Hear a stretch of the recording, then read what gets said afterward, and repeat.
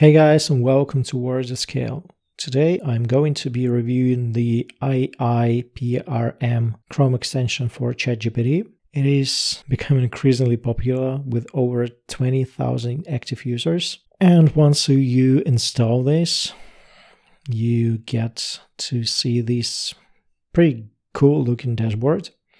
And what it is, it's a suite of SEO, marketing, advertising, and copywriting prompts that are that are self-fulfilling meaning that you don't have to input anything like very little input should be coming from you. And in this case it's kind of a black box. So behind every prompt there is a prompt or a series of prompts that you do not see. At the first glance it's looking very good. You have your keyword strategy prompts your optimizing business profiles prompts outranking one click blog post audit existing content and i the first time i checked it out was a few weeks ago and they didn't have nowhere near uh, this many prompts as they have right now.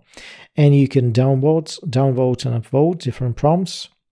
You can see their popularity. But what i wanted to do I wanted to uh, give an objective view on some of these prompts, since this is a story where I have uh, mixed feelings. On the one hand, it is quite amazing, and I would like to congratulate the team for coming up with this. Uh, for the newbie, for the beginner, it's very user friendly. You just execute on the prompt and you basically um, enjoy the outcome. But for the curious minds like myself, I don't like black boxes at all. So I would love to see the exact prompts they're using. And many of these prompts you have to take at face value. So for example, this prompt here, which promises you to find the keyword volume, difficulty, and intent. And I got very curious with this prompt and basically let's uh, take something that we can double check. Let's use our can dogs eat bananas as an example. We'll press continue.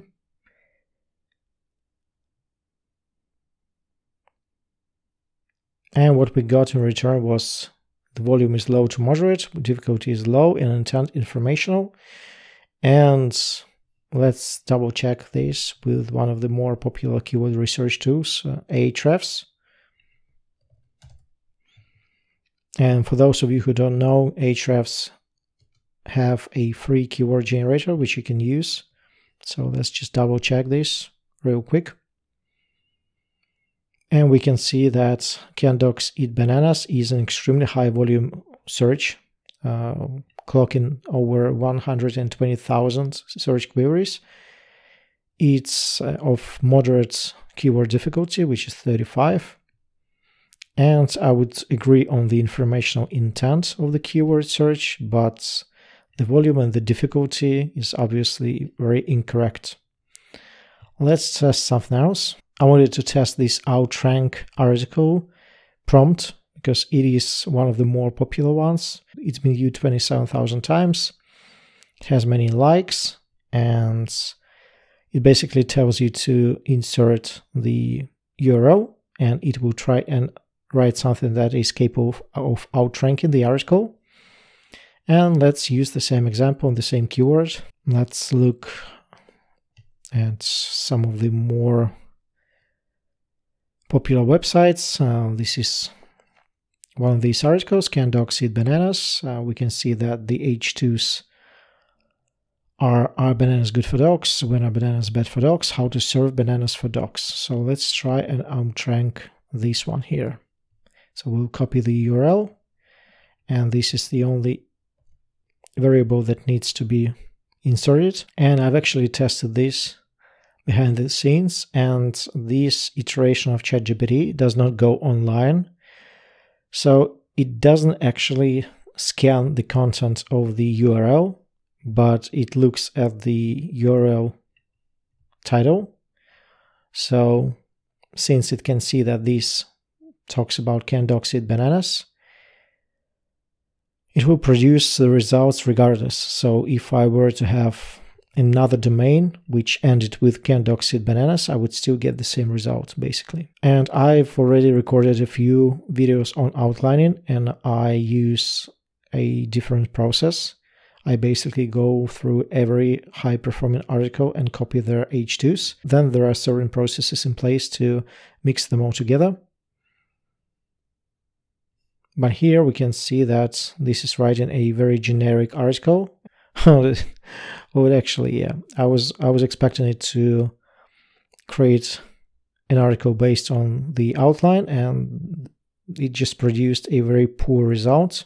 So I would not advise you to use this outranking prompt if you want to actually outrank the article.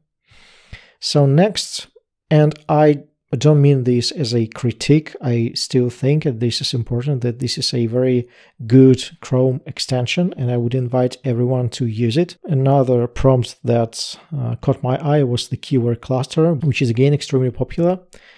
And the reason I'm talking about keywords, uh, keyword clustering is that there are very few tools on the market that do keyword clustering anywhere close to being usable. And I myself end up time and time again clustering the keywords manually.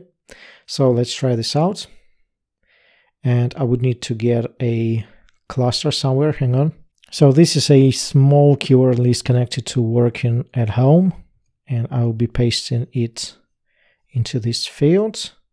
Let's try to find keyword clusters. And right now it's getting very broad categories. Like for example, I have the typing pools at making money online, but I have typing works, for example, under jobs and employment as well. So two very similar words, typing works and typing pools jobs, which are being attributed to different clusters. So let's check something else. Topical authority. Create a table with article ideas to help you build topical authority in one specific keywords. Okay, let's test it out. So this seems to be very popular as well. And what if I wanted to talk about Jasper AI? Okay. Jasper for SEO. Jasper case study. Jasper versus competitors. Jasper and content marketing.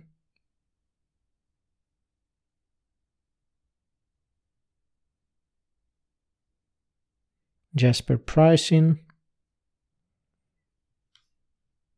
Okay. And so actually it's a I wouldn't say it is by no well it is by no means sufficient to create topical authority, but it is a nice first step. Uh, let's see if we can um, navigate the chat GPT to do what we want. Create a list of subtopics for the above titles in a two col column table. Let's see what happens. So this is more along the lines of what I would have expected in the first place. So if you, the creators of this prompt, are listening, I would advise you to insert this prompt or a similar prompt inside the prompt string. So I would have liked to split these clusters into subtopics. And again, this is not sufficient to gain topical authority, but it's a nice start. Let's test something else, uh, just anything that catches my eye, keyword strategy. Let's look at the most top votes. These are the top votes. Create a content keyword strategy and SEO content plan from one keyword. Okay, so let's use the same example, which is Jasper.ai. And so far, I don't like how these are not long tail enough. Jasper predictive analysis. And okay, so not a lot. Uh, if I press continue, would it? Mm, AI in healthcare, yeah, and it's going slightly south. Jasper Finance. Okay, let's stop generating and let's see since uh, ChatGPT is not a viable keyword research tool, and uh, if anyone tells you otherwise, they are lying since Jasper AI is not connected to any of the APIs, uh, which is Google or Ahrefs or anything else, so they are not able to produce keywords, search volumes and create and assess difficulty in any way, shape, or form. But what I want to do is to double check if these suggestions have any meat to them. So I'll go to one of the free keyword tools that I have showed you before, which is Ahrefs keyword generator. And let's just go for Jasper AI. So this is keyword difficulty of 40, Jasper AI NLP. Okay, no search volume. Uh, this could mean two things. It is either a zero volume keyword or mm, nobody searches Jasper NLP, Jasper AI chatbot. Same story. So right now it looks like these are made up terms. And let me double check with keywords everywhere because what I found is that keywords everywhere are better comes to zero search volume or very low competition keywords. It actually gives you volume for some of the keywords that Ahrefs does not. So these three has returned zero volume uh, with Ahrefs. Let's check for with keywords everywhere and again. So according to these two, nobody searches this. what about good old Google? Jasper AI NLP, and we'll use it in brackets to see if anyone uses this exact, exact phrase. And we have four results, which is uh, Jasper AI NLP. No, not really. So this is what I'm saying. ChatGPT cannot be used uh, as a keyword research tool. It can give you inspiration. And I actually like another uh, technique. So if I were to go generate a list of 25 most popular questions about Jasper AI, and this prompt will be in our ChatGPT prompt library, which is available to Patreons.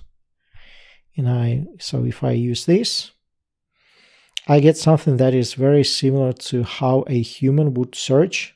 So I can bet you anything that uh, what is Jasper AI and how does Jasper AI work and what is the cost of Jasper AI are the search terms that are actually being searched online. Let's just check how does Jasper AI work. And here we can see that not only this is 50 searches per month, and but this is an extremely high CPC keyword.